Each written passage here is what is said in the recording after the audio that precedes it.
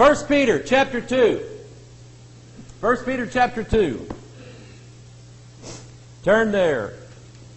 I'm going to make you do it. There. Can you read that? I'll turn there too. Let me just ask very quickly, raise your hand if God showed you something this week in the Word that really blessed you, you never knew it before, or it just sent tinglings in the back of your neck. It got, okay? Now, I'm not trying to say, well, you're better than everybody else is, because I don't, I don't do that. But I want to encourage you, read your Bible. Don't just, you've heard my phrase, uh, the, past, the church welfare program where the pastor reads all the Bible for you and gives it to you, okay? Read it yourself. That's your vineyard. Don't be slothful with it. Amen? Uh, so anyway, um, where was I going with that? My mind is just, I'm just like forgetting everything I'm saying today. Anyway, go to the scriptures, and work, we'll work our way out of it. So, 1 Peter chapter 2, verse 1. Wherefore, laying aside all malice, and all guile, and hypocrisies, and envies, and all evil speakings, as newborn babes, think about that, as newborn babes, desire the sincere milk of the Word of God. Okay? Um, that you may grow thereby. If so be ye have tasted that the Lord is gracious. Who in here has tasted that the Lord is gracious? Okay? He has been. The Bible says, Oh, taste and see that the Lord is good. God tells them in Malachi. He's talking about tithing. And he's not, he's not threatening them so much as he is encouraging them. He says, Go ahead and tithe and see what I'll do after that. See if I don't open the windows of heaven and pour blessings out to you. Now, God did not anywhere in that passage say that if you paid tithes, God was going to give you more money. He never said that. I don't want money as much as I want God's heavenly blessings to come down on me and enrich my life, even if it's without money. Can I hear somebody say amen? Okay? But anyway, we need to grow thereby. If so be if you've tasted that the Lord is gracious, to whom coming as unto a living stone Think about that. Disallowed indeed of men, but chosen of God and precious. Ye also as lively stones are built up a spiritual house, a holy priesthood, to offer up spiritual sacrifices acceptable to God by Jesus Christ. Wherefore also it is contained in the Scripture, Behold, I lay in Sion a chief cornerstone, elect, precious, and he that believeth on him shall not be confounded. Underline that. We know in 2 Thessalonians 2 that God is going to send a strong delusion. Do we not? Okay? Who in here has heard of that Mandela effect?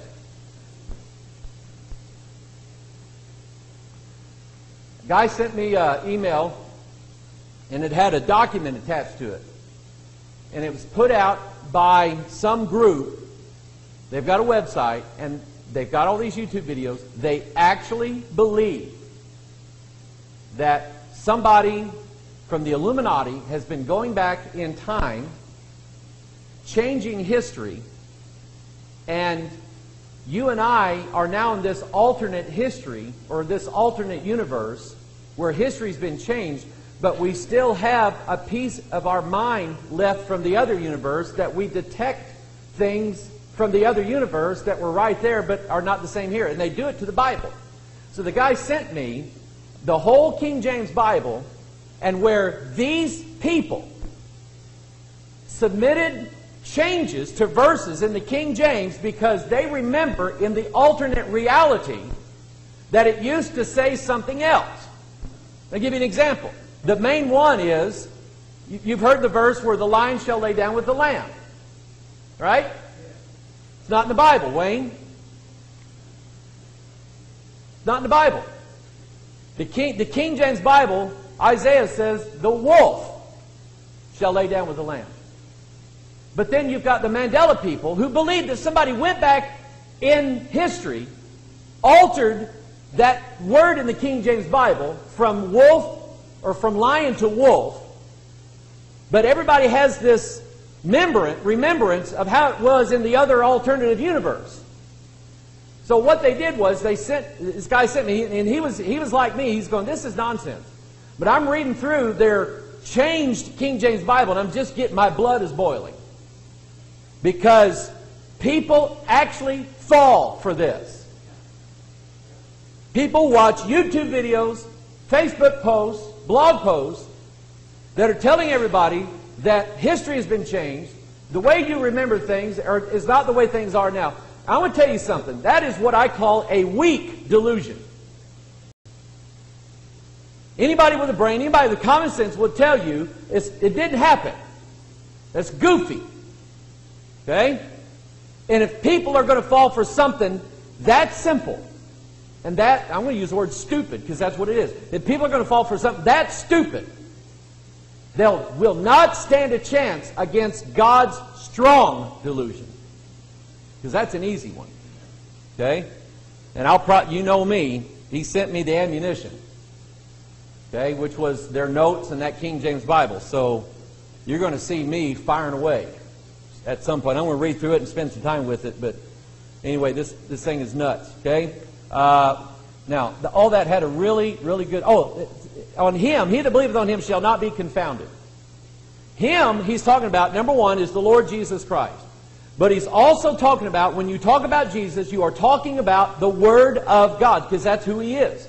He is the Word, he is the Word of God, he is the, the angel of the Lord, he's all these things. And if we will believe, if we will base our thoughts, our ideas, our conspiracy theories on the Word of God as being absolute truth, we will not be confounded. We will not be part of the falling away and the great deception that's coming. We will not be part of that. God will make sure of it. God did God make sure that Noah and all the animals was in that ark? They didn't miss anything. The angels came to get Lot and his family out. Now, half his family didn't want to go out, so he got left there. But Lot and his daughters were able to escape because God knows how to save people. God knows how, in all the things that you're reading in the Bible, all the things you're hearing from the Word of God, they may not make sense today, but I promise you, there's going to be an issue of life that's going to raise up, and all of a sudden a verse is going to come to your Holy Ghost is going to say, Remember that verse? Now here's what it means. Okay? And then you know that you're a child of God because God's dealing with you that way. But I'm telling you, people, and I, a lot of people online, because there's so much junk online, please, if it's an issue with you, turn your YouTube deal off. Quit watching that stuff. Get your Bible out and read it and let God make it so that you are not confounded. Amen? Verse 7. Unto you, therefore, which believe, he's precious. Amen. That He's used that uh, thing up here before. Uh, verse 6 Wherefore it also is contained in the scripture Behold, I lay in Zion a chief cornerstone, elect, precious. So then he says, Unto you, therefore, which believe, he is precious. My God is precious to me. My Savior is precious to me. My Bible is precious to me. Okay? I will not give up my Bible. I will not give up my Bible. I'd rather be dead than to lose my Bible. Amen? That's just how precious this thing is to me. Let me ask you this Are, are your grandkids precious to you? Georgia, grandkids precious to you? Do you take a bullet for them? Absolutely. When it comes to people that we love, we don't think of ourselves first. Okay? Rose, several years ago, we had a guy come, Rose knew who it was, um, to kind of go through our church and give us some ideas on church security. And he was examining this area here, and he looked at the stage, and he said, "Where's, where's that door there go to?" And he says, "Well, it goes behind here and uh, downstairs." So he told me, he said, "Pastor, if anybody comes in here with a gun, then you are, have the ability to run through that door and be safe. I said, Sir, with all due respect, if somebody comes in here with a gun, I'm not going to leave running out of here like a little girl screaming. I'm going to run and jump in front of my wife and my kids as much as I am able to because I do not want anybody to harm my family. They are precious to me. Likewise, my Jesus is precious to me. He not only saved me, but He saved me in every way possible. Jesus Christ has saved me. This Bible does not ever get old in my mind. I always want to read it. Sometimes I don't, but I always want to. I always want to learn something. I always want to see something brand new. Why? So I can tell everybody else. That's why I want to do it. So I can proclaim it. Okay? I want to proclaim what I know. And the more I know, the more I'm able to proclaim. The, all of these things are precious to me. And I'm not going to let them go. So unto, unto you, therefore, which believe he is precious, but unto them which be disobedient, the stone which the builders disallowed, the same is made the head of the corner. That is not a capstone on a pyramid. It's not. The head of the corner is a cornerstone. The cornerstone sets the angles of that, of that building. Because that, that cornerstone is, I guess, I don't know, level across the bottom, level across the top, level down both sides, and it establishes a 90 degree angle for the walls. Once you set that one stone in place, you build the two walls out from it, and then on the other corner, you do the same thing. You're setting cornerstones there. That determines whether or not that house is going to stand or it's going to fall. And Christ is that chief cornerstone. Not at the capstone on your dollar bill, but He's down here. He's the one, He's the rock that we're on, that we're built on. Amen? So you just, I like that part. But the builders now are rejecting that. You have church after church. Um, the Crons from, uh, I guess, I think it was you guys. I didn't get a chance to read all your email. But they're having problems because they're having to tell some of their closest friends. Well, you know what? I better not say that because I don't know if they gave me permission to do it. What I'm, what I'm telling you is, you stand on this book, you don't walk away from it. Okay? That book and this word is precious to us. And while all of these churches and these denominations and ministries are building their house without that chief cornerstone because they rejected it. They rejected the pure and the true plumb line.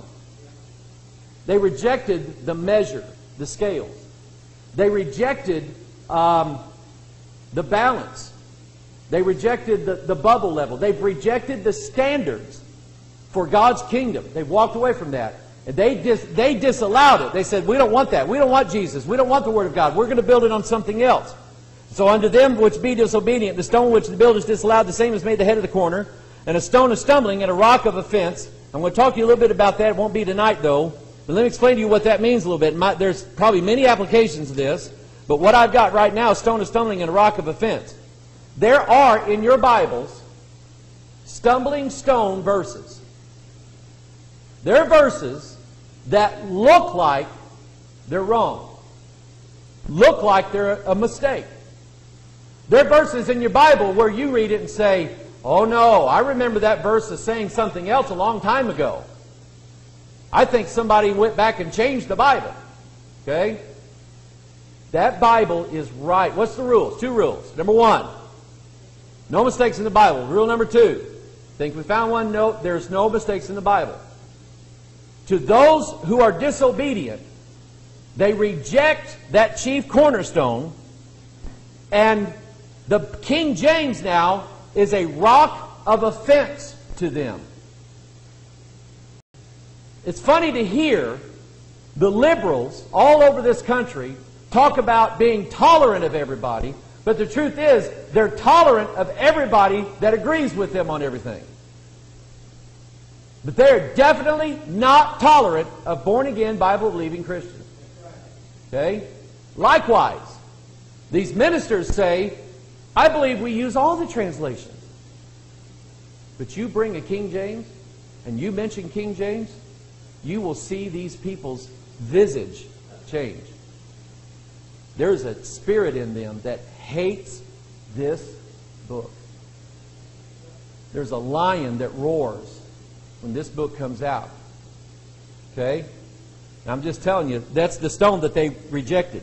It's a rock of offense. So, these guys like to point out this, what they call discrepancies between the accounts in 1st and 2nd Kings and the accounts in 1st and 2nd Chronicles. And they say, see, there are mistakes in those manuscripts. Uh, mistakes crept in. Therefore, we do not have the infallible Word of God today. It has errors in it. And it's been that way for a long time.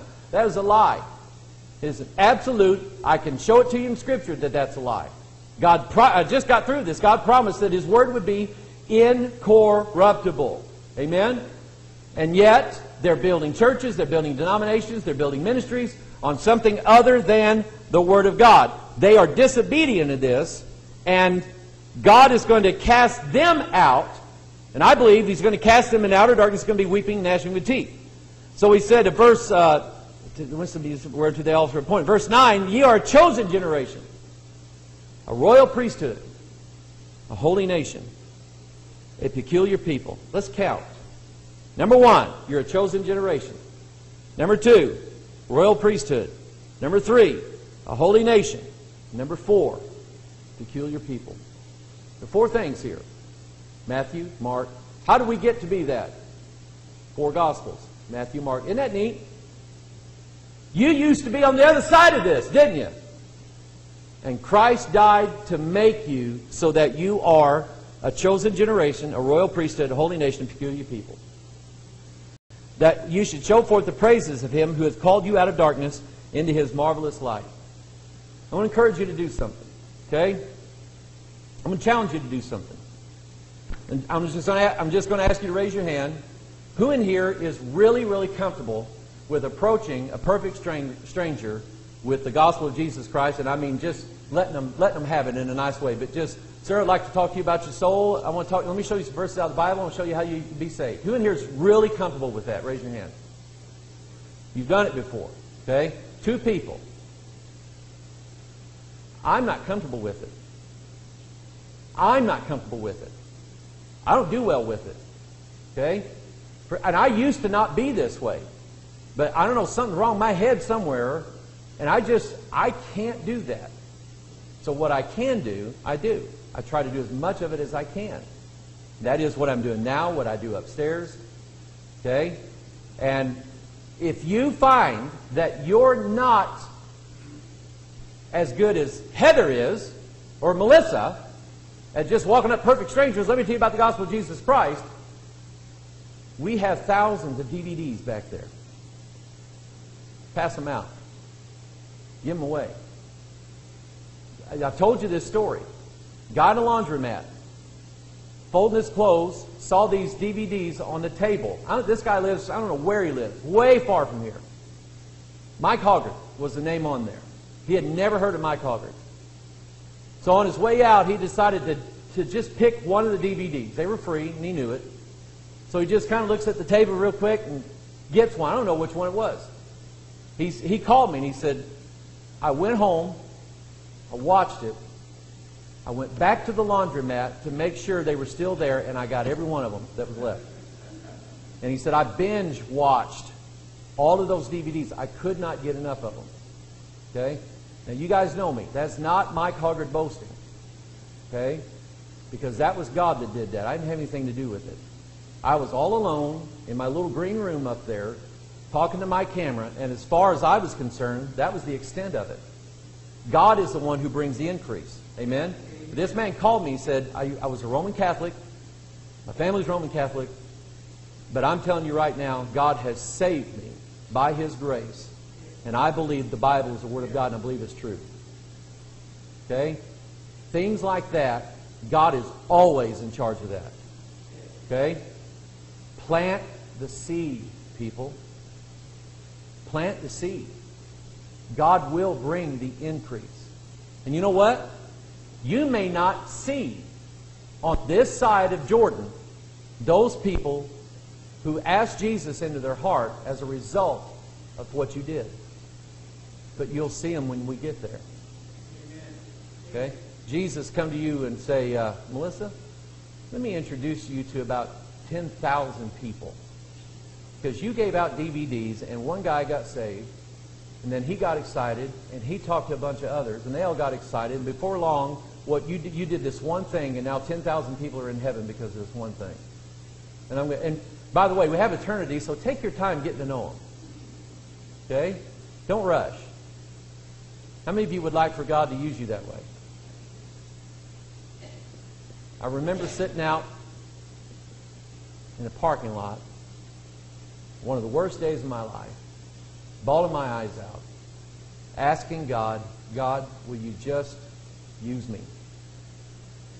Will you just help me and let me be a blessing to people?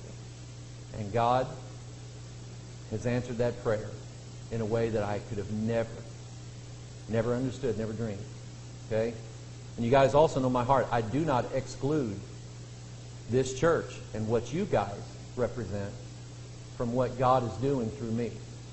The day that I was told that I would have to leave this church in order to be successful in that ministry. And I went, nah, don't think so. Okay? Anyway, you're a chosen generation, royal priesthood, holy nation, peculiar people. It's the Gospels that did that in you. You did not do it yourself. That you should show forth the praises of Him who hath called you out of darkness into His marvelous light. If you're happy and you know it, you can do more than say amen. Okay? You can proclaim to others what God has done for you. Amen? Verse 10, which in time past were not a people, but now the people of God, which had not obtained mercy, but now have obtained mercy. I want to go back to, uh, it's almost 8 o'clock, but I'm, I'm fixing to now, just now get the message going here. 1 Peter chapter 2, verse 1, Wherefore laying all aside all malice and all guile and hypocrisies, envies, and all evil speakings, as newborn babes desire the sincere milk of the word that ye may grow thereby. Has anybody ever considered the meaning of this? I mean, it's pretty simple. It is a mother nursing a newborn. Okay? Newborns, and let me just kind of run through this very quickly. That, that first milk that comes out of that mother is called colostrum. And it's loaded with antibodies. It's loaded with the things that will protect that child because at that young age, that child's immu- uh, immune system is not developed enough to fight off its own diseases. So the first few days of a newborn baby's life and existence is very critical, and they must receive that colostrum from the mother. God designed it so that, and it's not just in human women either, it's in the animal kingdom as well.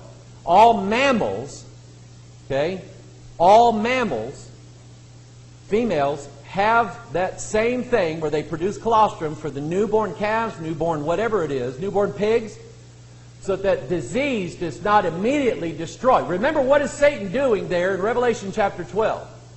The woman's going to give birth, and what's the dragon doing there? He's waiting to devour that child as soon as it's born. Can I tell you something that I know about you? There's no doubt in my mind that the devil tried to devour you in your young life? Raise your hand. I think he saw something a threat to his kingdom. Isn't it good that you're a threat to his kingdom? And the devil tried to stop you from doing it. Okay? And God wouldn't let him. Amen. Okay? Anyway, we have obtained mercy. Now, milk, as I said, it starts out as colostrum. Then it changes over and it's got all these fats in it. That's why babies are nice and cute and chunky. Amen? Because they're drinking fat all day long. Okay? It's got, um, what is that? Uh, lactose. The form of sugar called lactose. Because that baby needs that sugar from that milk. It needs that sugar in there for its cells to be able to grow, multiply, and produce energy. It needs it. Okay? But we all know, we've seen it happen over a time then, that child no longer just is satisfied with the milk of the Word. Now let me stop right here for a minute. Way too many church members are still sucking milk. They are spiritual babes, and they have been that way for years, which means they have carefully chosen the church that they go to. A church that will not deliver meat of the Word of God, but will only give that good, sweet, fat milk for babies. And the babies just suck it all up. And to them, they say, we don't want any more than that. And by and large, God says, fine, I'm not going to give it to you. Okay? That's the importance of it. At some point, you grow up out of the sincere milk and you get ready to chew on some meat because that's going to sustain you longer. What Lisa and I found out about having babies in the middle of the night was the quicker you can get solid food in their stomach, the better your chances of sleeping at night. Amen? And the pediatrician always said, "Oh, you're giving them you're giving them solid food way too soon." And we're going, "No, we're not. No, no, we we wait till nine o'clock. We don't rush it." Okay. But anyway, let's look at milk in the Bible. Milk is a picture of the Word of God because that's what He said. Desire sincere milk of the sincere milk of the Word of God. Okay, that's it. So milk is a symbol of the Word of God. In Exodus chapter 3, verse 8, I am come down to deliver them out of the hand of the Egyptians, and to bring them up out of that land into a good land, and a large unto a land flowing with what? Milk and honey.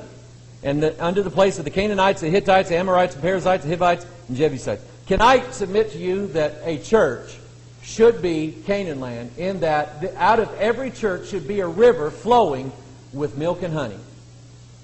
Milk being a picture of the, of the nutrients of the Word of God. Honey being a picture of the sweetness of the Word of God. You need that milk, you need that protein, you need that calcium, but you need that sugar as well. And, and honey is, in my opinion, the best place in the world to get sugar. Amen? Keep puking bees. Keep puking that stuff up. Amen. Because that's what they do.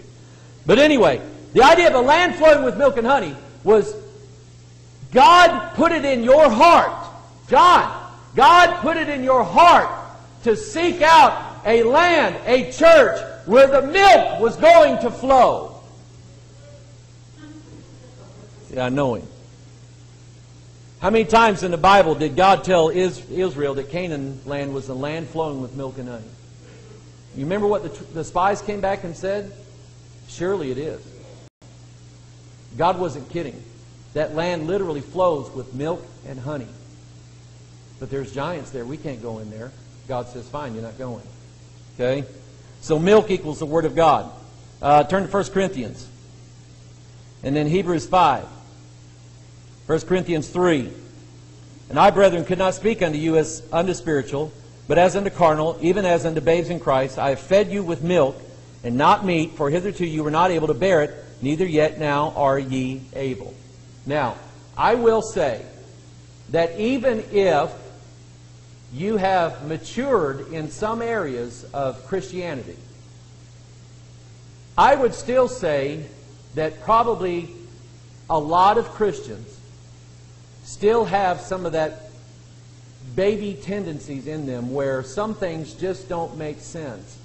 And they need the milk portion of what God's teaching them before they can handle the meat portion of God. What God's. How many of you understand what I'm saying? Okay, I've been fight. I don't know what it is, but I'm fighting my mind, staying focused tonight. Okay, so slap me around a little. No, don't. Okay. But in, what was I saying now? What was I saying? The milk. I know I was talking about milk. Yeah, there may be issues in your life where you don't understand how God, why God does this or why God does that. In those cases, you might still need the milk to start out with. Does that make sense to everybody? Okay? Especially when it comes to new converts. There's a critical time in a convert's life that a lot of things need to be done for them. And we should treat them as we treat little babies. There are things little babies cannot do that you and I do all the time. They, they can't go potty like we do. They can't eat things like we do. They can't stand like we do. And so it is wrong, and I've seen it happen. I've seen it happen in this church, although not in a long time. It is wrong to take in converts and immediately demand that they follow all of your standards and your church rules, and even demand that they follow everything out of the Scriptures. Give them milk first. Let them, let them grow and get fat. Let them get their bones strengthened. Let them get used to using those muscles. Let them get used to, let them, let their brains grow a little bit. Let them grow. Because after all, that's what God did for you, did He not? God did a pretty good job taking care of you. Hebrews 5.11, turn there. 5.11, of whom you have many things to say and hard to be uttered, seeing you are dull of hearing. For when the time you ought to be teachers, you have need that one teach you again, which be the first principles of the oracles of God, and are become such as have need of milk, and not of strong meat. For everyone that useth milk is unskillful in the word of righteousness, for he is a babe. But strong meat belongeth to them that are of full age, even those who by reason of use have their senses exercised to discern both good and evil. In a family, mom and dad have several children, and then the newborn child comes. Mom and dad sets the table for the supper evening meal, and there's fried chicken and cornbread, mashed potatoes and gravy, and beans, and all that good stuff on the table. But the baby cannot eat that. The baby needs milk. As it would be wrong for the pastor or for that dad or, and mom to try to force all the other children to eat the milk that the baby is eating, it would also be wrong to force the baby to eat the cornbread and the chicken that the older children and the adults are eating. How many of you agree with that? Say amen. Okay? Common Core. Have you heard of that? The Common Core education system is New Age to the core. And it dumbs down the educational system. It takes the top students and brings them down deliberately to a lower level so that the lesser students won't feel bad about themselves. And they want everybody's education and their grades to be common. Some people just need more time to grow up. But not everybody's the same. So a good set of parents will provide meals for both all of the children plus the baby and they'll understand the two.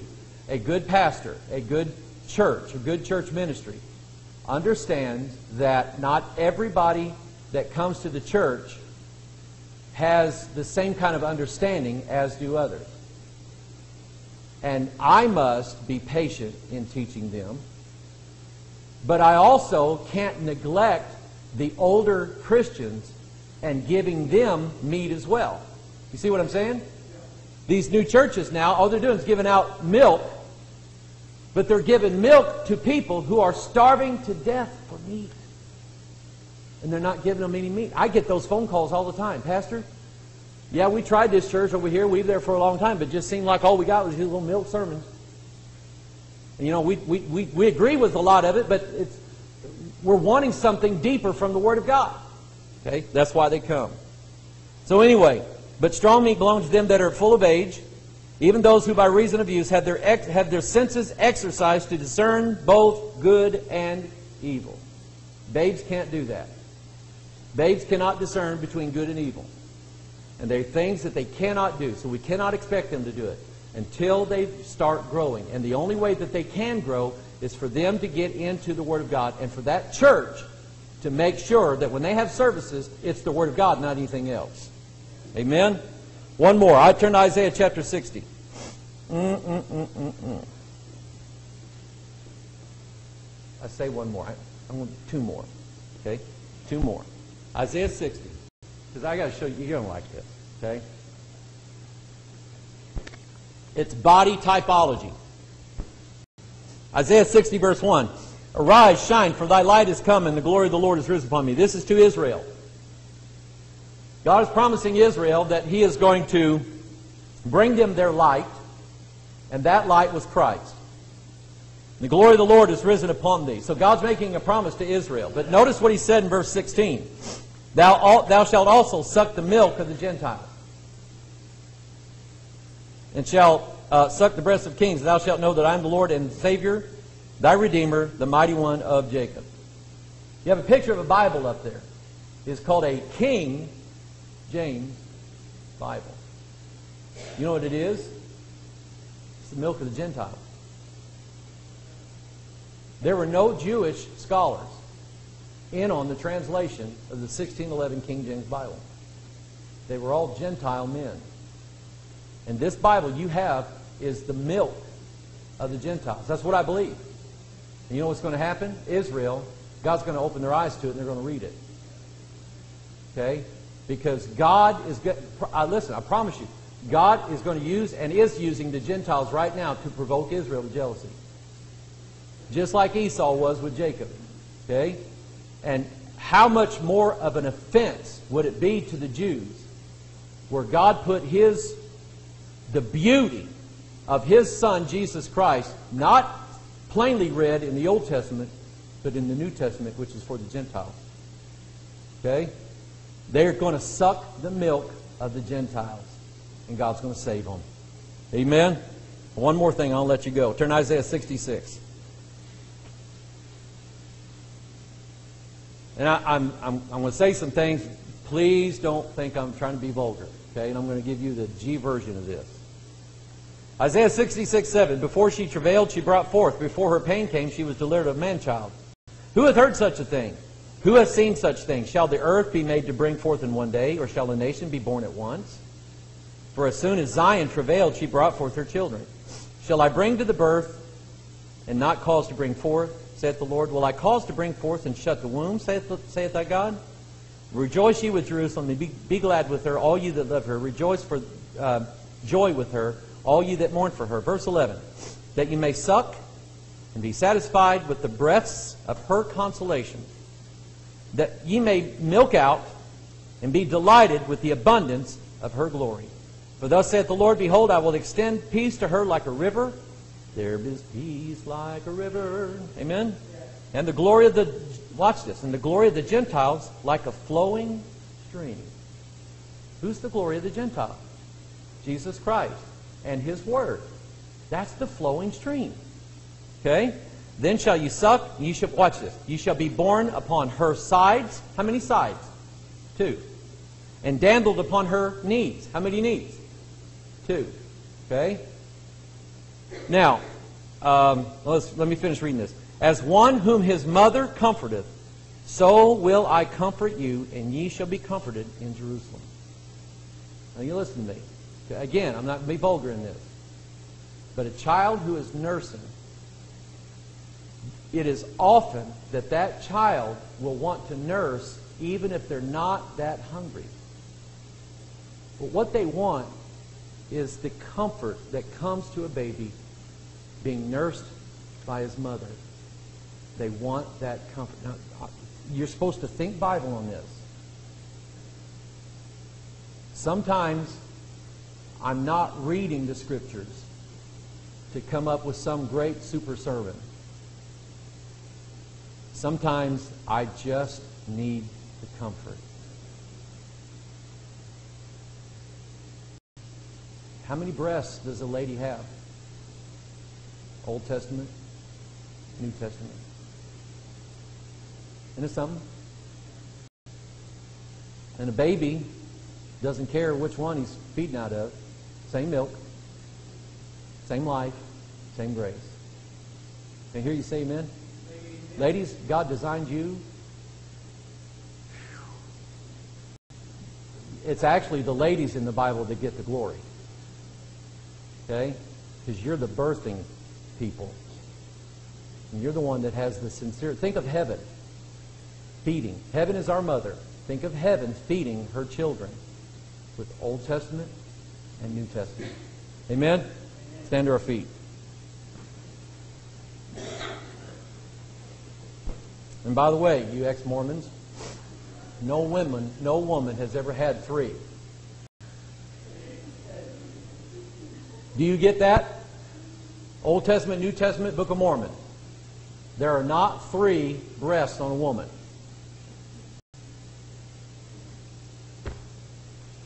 Father in heaven, you're a genius. You're an absolute genius.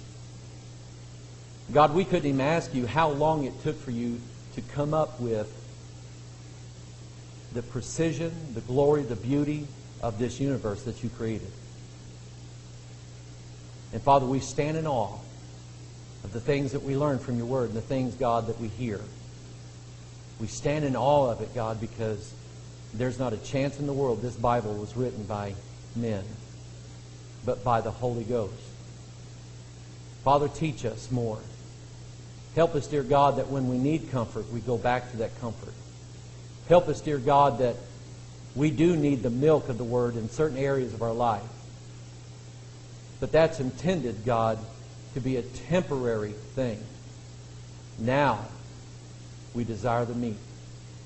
Father, would you rise and give your people both the milk and the meat that they need in their lives to conquer what it is they need to conquer, to be prepared for the days that are coming because we don't know what's going to happen.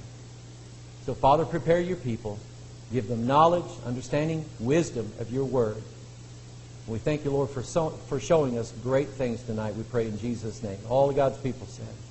Amen. It's good to be here tonight. God bless you.